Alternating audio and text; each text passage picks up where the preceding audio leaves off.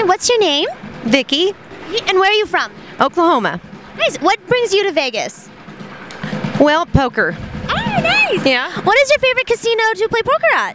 Um, I've been to just about every place. I would say the Venetian. Nice. It's really pretty there, right? Yeah, it's it's really pretty. It's a good room. Yeah, a lot of tables. And did you enjoy NASCAR at all? I have not noticed NASCAR.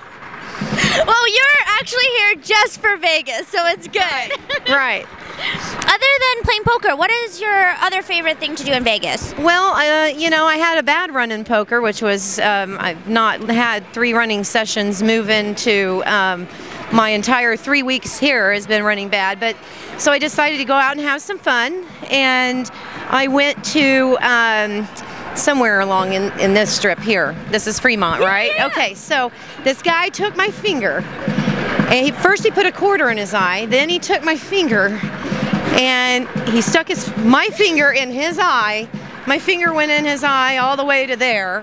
Then he pulls my finger out, right? And then he pushes the quarter, and this isn't magic. My finger was in his eye, and I could feel the quarter. And then he coughs it up out of his mouth. His name is Tony Starr, and it was just like this little guy on the side of the road. I mean, right over here on the side. I just, you know, just stopped to watch, and the next thing I know, I was gagging for two hours. I was, you know, seriously, like, I was screaming so loud. I grabbed my hat, and I'm like, ah, and I'm shaking, you know, and I'm like, oh my God.